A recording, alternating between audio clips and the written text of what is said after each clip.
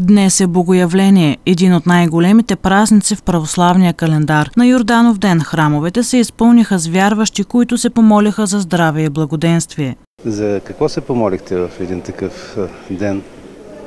За семейството, за децата и внуците най-вече. Здраве за цялото семейство, внучето ми е Йордан, всички да са живи и здрави и всички хора от България и от чужбина наши. Най-вече за здраве, за хората, които са от цяла България, да бъдат здрави, щастливи, с много късмет и тая година да може да преодолеем и короната, най-важното. Днеска е Йорданов ден за здраве, най-вече за здраве. Ето дъщерята ми се сменя, искам да е жива и здрава, да сме двете, да си помагаме. За какво се помолихте в един такъв ден, като Йорданов ден? Разбира се, че за здраве. Най-вече за здраве. В такъв ден Бог чува молитвите ни. Да. И не само на този ден. Той ги чува винаги. Стига ние да, да умеем да, да се помолим искрено. Винаги ги чува. Благословението на Господа и на този град да дойде чрез благота и сидорето на Пресветия Дух. В името на Отца и Сина и Светия Дух. Амин. Едно, две, три. И тази година смелчаци се хвърлиха за кръста в студените води на язовири и реки в региона. 29-годишният пожарникар Стефан Митев извади за втори път Богоявленския кръст от водите на Шуменския язовир. Надявам се пак да ми донесе късмет, като през миналите години. И тази година дома по-малко болни от COVID като цяло всяки други болести.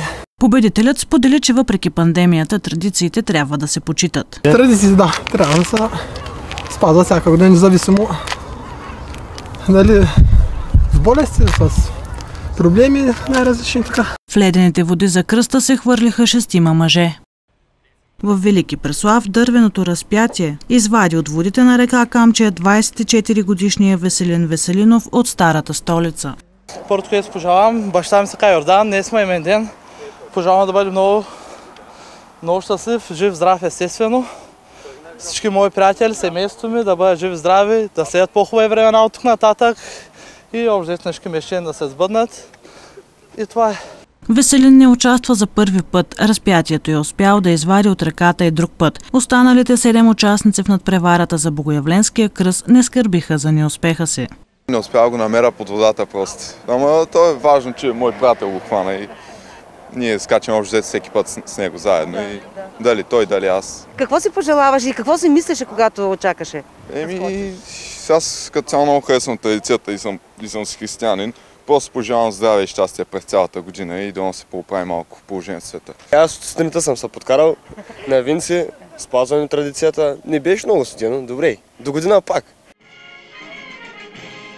По традиция на богоявление бяха осветени бойните знамена. Отец Красимир Капитанов поръси със светена вода представителните взводове на формированията от Шуменския гарнизон и присъстващите на церемонията за здраве и успехи. Възлюбленого тя сина именуя и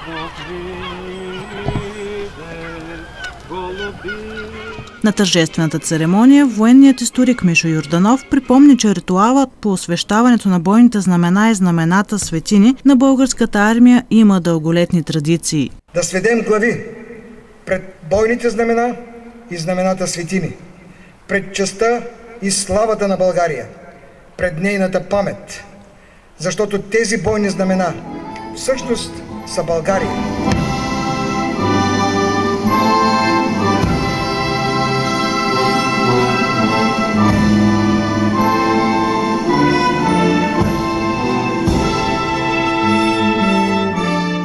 Заради осложнената епидемична обстановка тази година Богоявленският ритуал се проведе без присъствието на официални гости и граждане. На трибуната на Строевия плац бяха деканът на Шуменския военен факултет полковник Делян Димитров и началникът на гарнизон Шумен полковник Добромир Добрев.